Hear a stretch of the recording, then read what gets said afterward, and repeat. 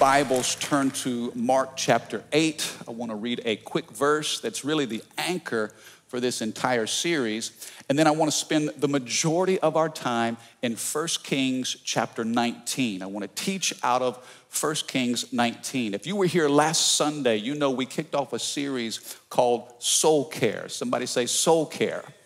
Uh, Jesus said these words in Mark chapter 8, verse 36. And what do you benefit? What good is it if you gain the whole world, but you lose your own soul? He's talking about gaining and losing in a culture that says acquire, acquire, get more, increase. Uh, uh, Jesus challenges us. What does it profit us if we gain the whole world, but we lose our own soul? And then he asks this question Is anything worth more than your soul? Uh, this whole series, I think, perhaps could be the most important series we talk about all year long, placing value where it matters most. Last week we said our soul is eternal. A lot of the things that we chase and pursue that we think will make us happy, it's temporary. Wouldn't you hate to put so much priority on something that's temporary and yet neglect what's gonna live and last forever? Uh, that's why we're going to take a deep dive over the next several weeks to unpack what does it mean to care for your soul? If our souls are so important, then what do we do to take care of them? Uh, last week I gave you this picture, uh, and we'll put it up on the screen again. We said that God is a Trinity God the Father, God the Son, and God the Holy Spirit. Three expressions, one God. We see that clearly throughout Scripture. The Bible tells us that we were made in His likeness and in His image. So we are Trinity as well.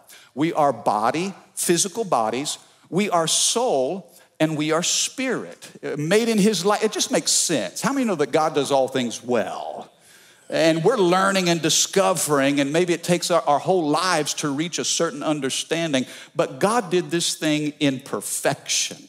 And He wants us to take care of ourselves completely body, soul, and spirit. Last week, and I was so excited when they told us this, we offered this book to you, Soul Keeping. Soul Keeping. It's in the, uh, the cafe at all of our campuses. Last week, we completely sold out.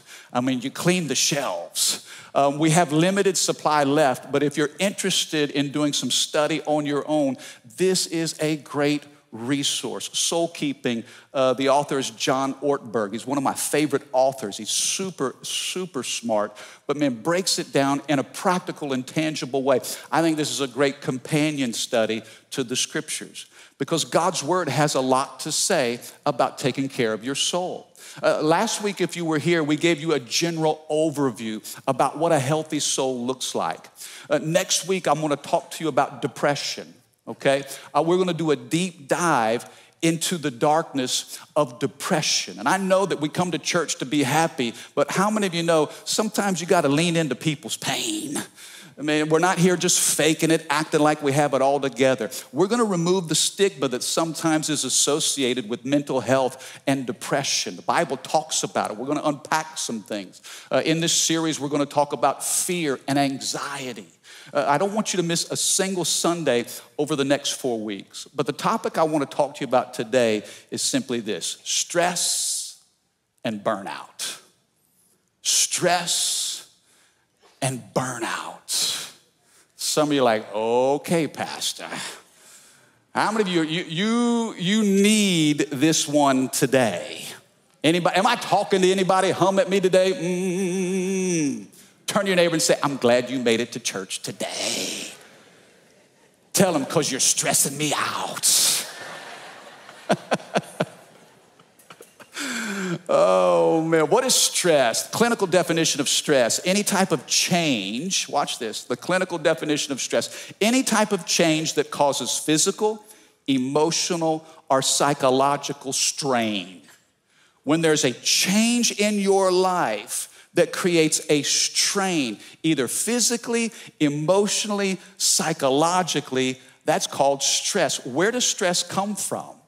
You know, what, what happens in our lives when we feel this strain? Maybe it's a job interview. How many of you know there's a little stress when you go on a job interview?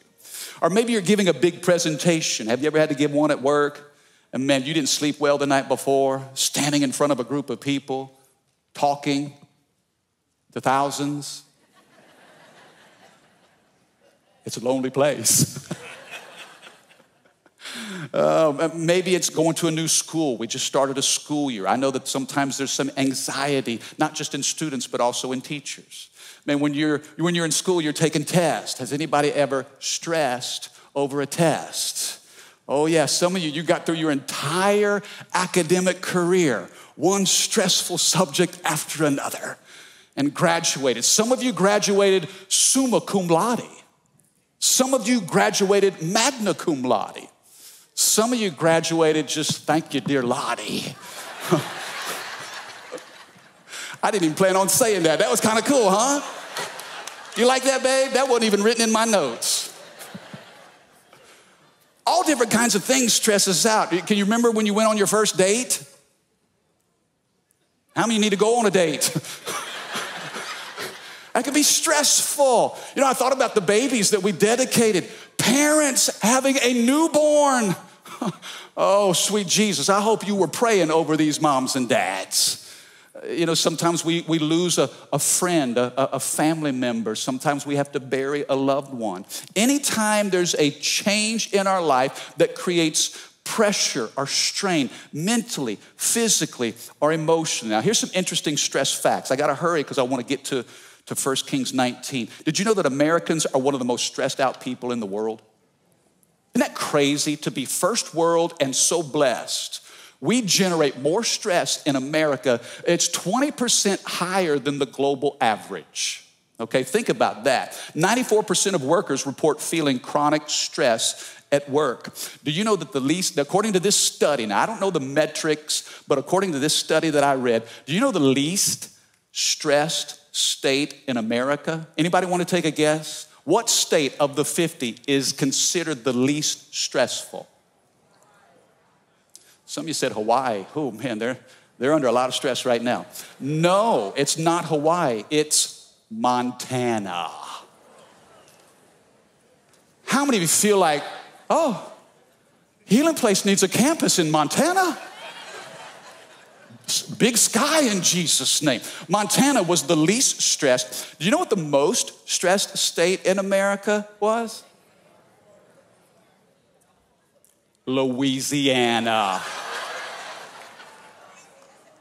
Can you believe that?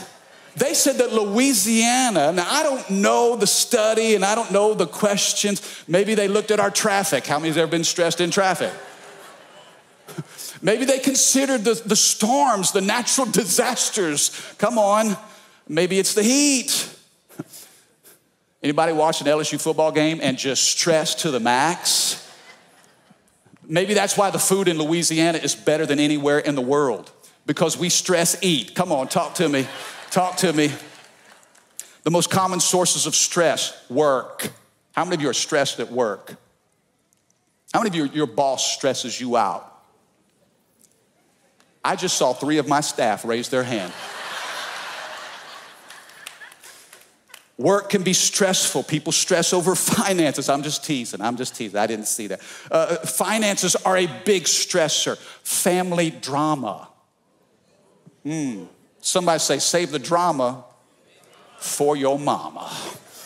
Physical health can be a stressor. Relationships can be a stressor. Stress is everywhere. You know the irony?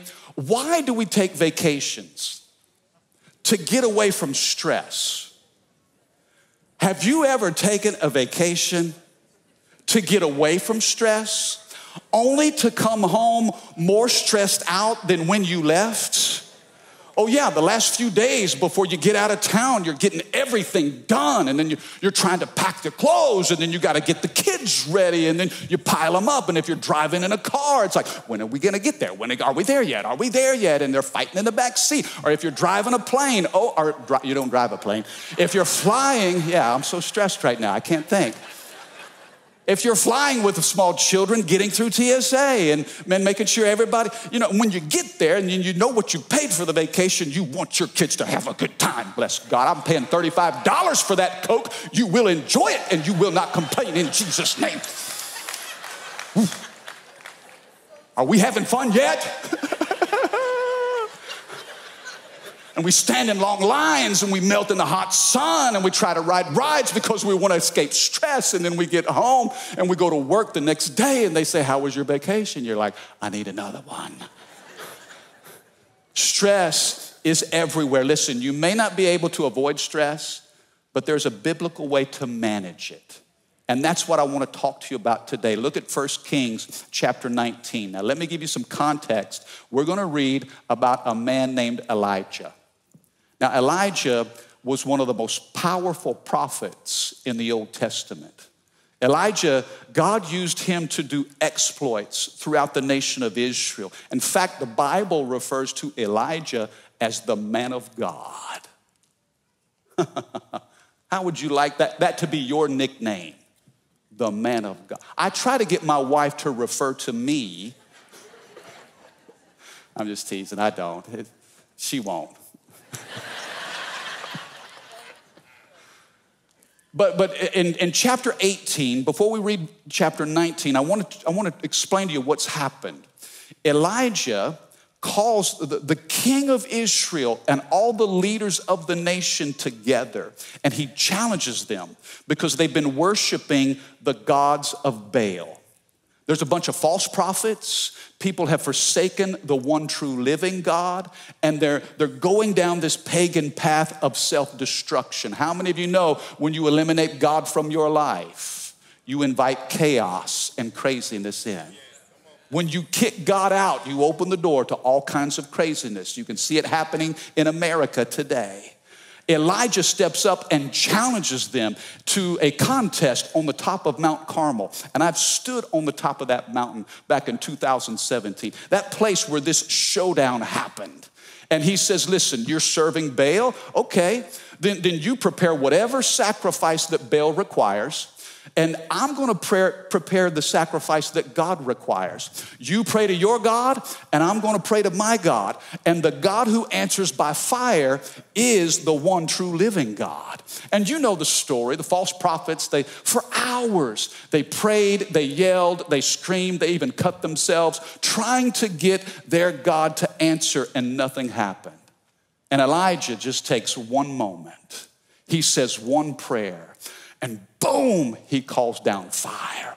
Whew, that sacrifice was consumed. There's a reason why he was the man of God, because he could call down fire. Now, you would think at that moment, the king and all the people would say, Elijah, you're right. We will worship God. You would think that that would be the turning point for revival. Instead, here's what happens King Ahab's wife, Jezebel, was so upset that all of her prophets had been defeated, she made a death threat on Elijah and says, I'm gonna kill you before this day's over. Now, now, now, now watch what happens here, because sometimes we say, well, if, if, if I just had enough faith, I wouldn't be stressed out. Or if I just prayed more, or if I was just stronger, if I could just be a better Christian, I wouldn't be stressed. Can I tell you this? I know this is a church full of dynamic and powerful people, but I don't think any of us can call down fire like the prophet Elijah did. And yet we're going to see a man of God who was under stress. He was so distressed. Look at what it, says in 1 Kings 19, verse 3. Elijah was afraid and he fled for his life. So he went to Beersheba. That's important. We'll talk about that in just a moment. After this incredible victory on the mountaintop, he flees to Beersheba, a town in southern Judah, and he left his servant there. Then he went on alone into the wilderness, traveling all day. He sat down under a solitary broom tree. Some translations say a juniper tree. And he prayed that he might die. I'm telling you, stress can be suffocating. He says, Lord, I've had enough. Just take my life, for I am no better than my ancestors who have already died before me. Then he lay down and he slept under that broom tree. Now, in this little passage here, I want to quickly give you three things. Here are three signs of stress related burnout. And, and there's a reason why I'm connecting th- these challenges to this great. I mean, uh, Elijah was the, the man of God, the man of the hour, the tower of power, too sweet to be sour. But he was just as human as you and me. So you, you, you hear the desperate plea of this prophet of the Lord. You see what's happening here. There are three signs of stress related burnout. Number one, exhaustion. He was totally exhausted. The Bible says he went from Mount Carmel down to Beersheba. You know what that distance was? A hundred miles. That's like running an ultra marathon. Uh, how many of you, you, how many's ever run a marathon? Any marathoners do we have? Okay, some of us. Jeff, I didn't know you were a marathon. You ran 26.2 miles. Wow. Four hours and 45 minutes, 26 point. How many of you have a hard time running point two? My brother ran 26.2. Elijah ran 100 miles to Beersheba. He was exhausted. You know, when we go too hard, too long, we will eventually run ourselves into the ground. You know, your body produces a certain hormone when it's under stress. I know you know this. You know, there's certain adrenals. There's a, cortisol level. When you're under stress, your cortisol levels climb. Have you heard of the, the, the, the, the phrase fight or flight? Yeah, your body goes into fight or flight mode. Notice this Elijah was both. He fought against the prophets of Baal, and now he's fleeing from Jezebel. This guy was totally exhausted. You know, you think about what your body does physically when you're under stress. And, and stress can be emotional, it can be spiritual, it can be psychological, but you feel it in your bodies. And, and you know, as your body, if you produce this, this hormone for extended amounts of time, the body eventually shuts down and says, I can't produce it anymore. It's kind of like if you put your AC unit, if you set your thermostat to 66, and it's 105 degrees, you know, for the last 30 days. How many of you know your, your unit is going to break down? And some of you, you feel the pains of stress in your physical body. Elijah was just totally exhausted. The second thing, not only is it about exhaustion, but stress can produce isolation. Notice what the scripture says. He gets to Beersheba and he left his servant there, he went alone into the wilderness. It's amazing how stress can drive you. It can deplete you physically, but it can drive you into isolation. And I want to, uh, we'll talk more about this in just a moment, but there's a danger when you're isolated. When you're, when you're exhausted and you separate yourselves from others, then you are vulnerable to the attack of the enemy. He can create a narrative in your mind. You can get cynical, you can get suspicious of other people, you can become bitter. I mean, you can detect some of this in, in what Elijah was saying. He was saying, Lord, I'm here by myself. I got nobody. I, am done.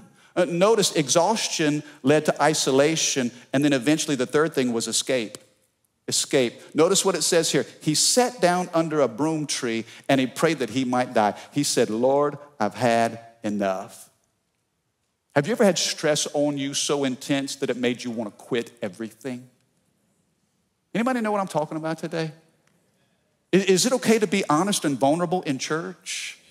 Man, we're talking about where we live. Sometimes, even the most simplest of tasks, you just feel paralyzed immobilized. You want to check out.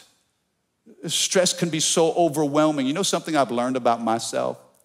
I've learned that because I'm a people pleaser by nature. Do we have any people pleasers in the house? Yeah, I just I want people to be happy. I, I do. I want them to be happy with me. And I've learned it's impossible. You know, when I was a youth pastor, oh man, everybody loved me. Everybody loved the youth pastor. Man, oh, Mike, he's so fun. He's so crazy. Man, he's just with our kids. Man, bring your kids to the youth group. Man, they got a great youth pastor. They love Pastor Mike. Oh, Pastor Mike, Pastor Mike. And then when I became the senior pastor, oh, dear God. Everybody who's upset at the church is mad at me. Can't do anything right man, making a decision and man, you're going to make somebody upset. And you know, how many of you know that if you want to make everybody happy, you might as well go sell ice cream? But if you're going to lead something, how many know that you're going to upset some people sometimes? And I've realized that I'm growing through this, but I realize sometimes when, when, when somebody's displeased with me, I feel the stress levels in my body. Some days I'm like, Lord, can I just be a youth pastor again? I just want to get out of here, just want to escape. So he runs to Mount Horeb, which is another name for Mount Sinai. And notice who was famous at Mount Sinai Moses. Isn't that where Moses got the Ten Commandments? Don't you think Elijah was comparing himself to Moses, seeing that where Moses succeeded, that he had failed? Come on, stress will lie to you. Come on, somebody.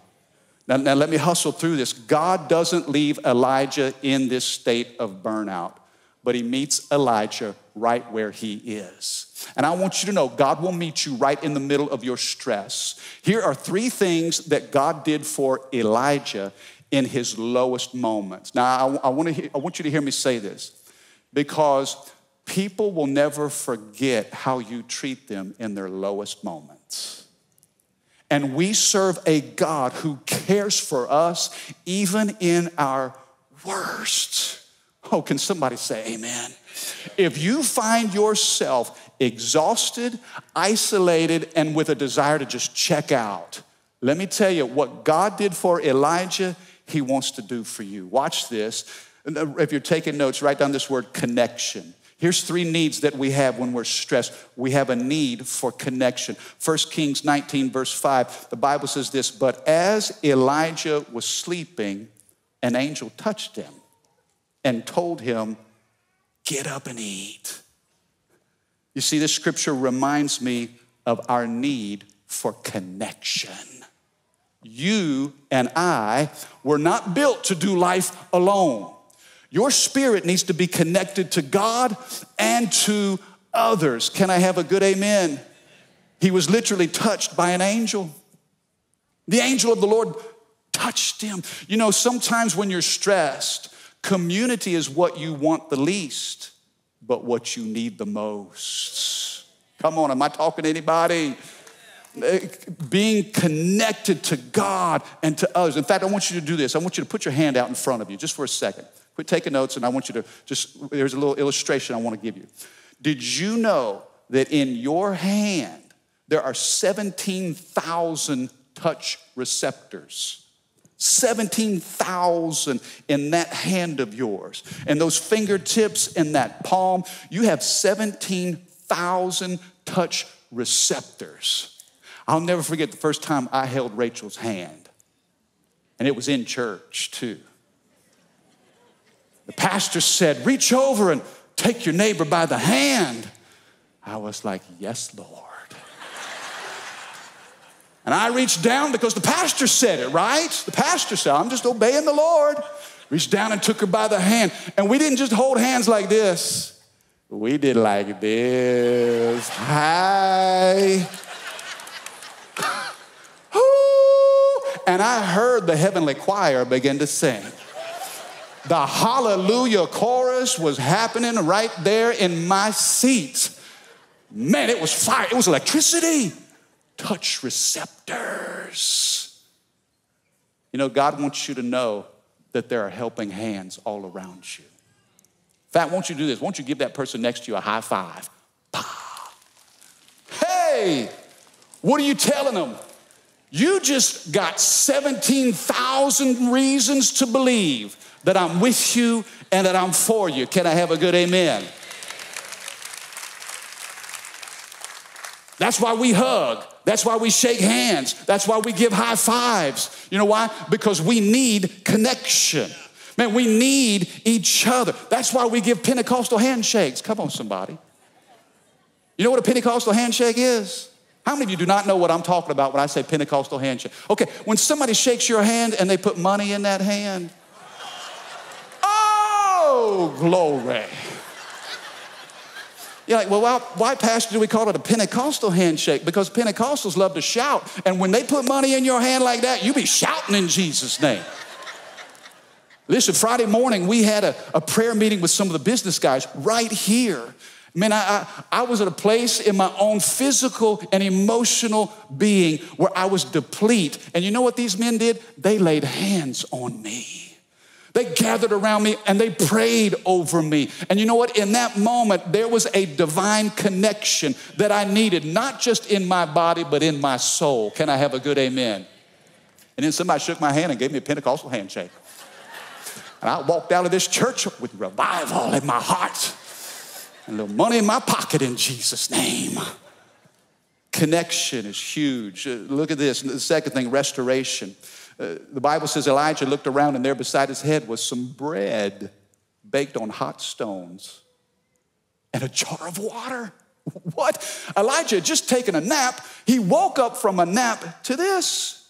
So he ate and drank and he laid back down again. Then the angel of the Lord came again and touched him and said, Get up and eat some more. Check this out Elijah takes two naps and he eats two snacks. Come on, can you say double blessed? You miss the days of kindergarten. Remember when you would bring your mat to school because there was nap time? How many of you wish you could go back to those days? Oh, man, and then you, your mama packed you with a little something extra because there would be some snack opportunities. Man, naps and snacks, you're like, Mike, how, that's so carnal. Can you be spiritual? Listen, for some of you, the most spiritual thing you can do is take a nap. I mean, it, it, it's good for your body, not just good for your soul. Charles Spurgeon said this the spirit needs to be fed, and the body needs feeding as well. Do not forget these matters. It may seem to some people that I ought not to mention such small things as food and rest, but these may be the very first elements in really helping a poor, depressed servant of God. That's a big deal. Some of you this afternoon, you need to lay down and just take a nap. Wake up and eat your little snack and then lay back down again. What does the psalmist say in Psalm 23? He makes me to lie down in green pastures. He leads me beside still waters. He restores my soul. come on, somebody say soul care.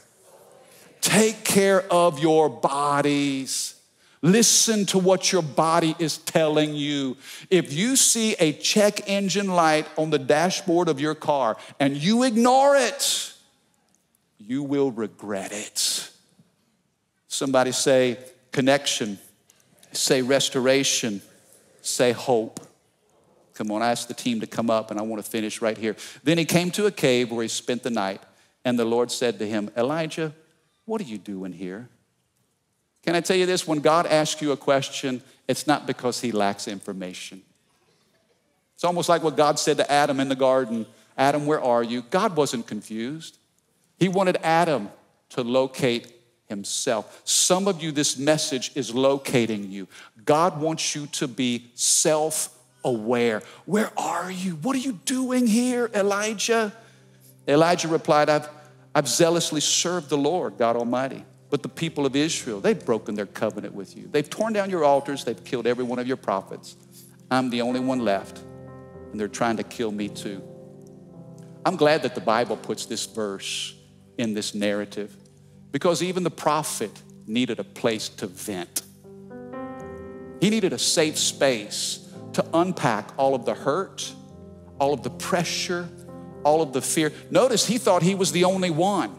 When you isolate yourself, it's easy to think, I'm the only one.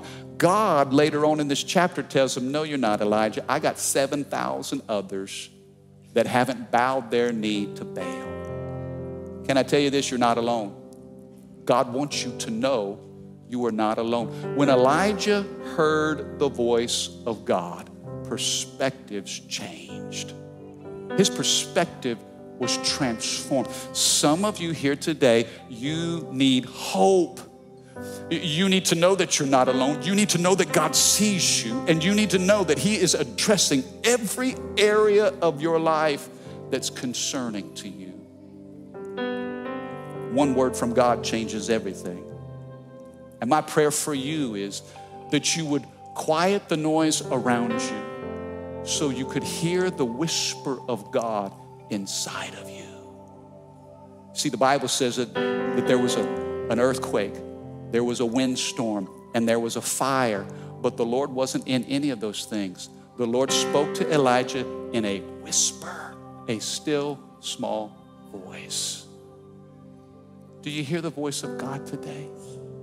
In the midst of your strain and stress and pressure and all that's happening in your world, God's wanting to whisper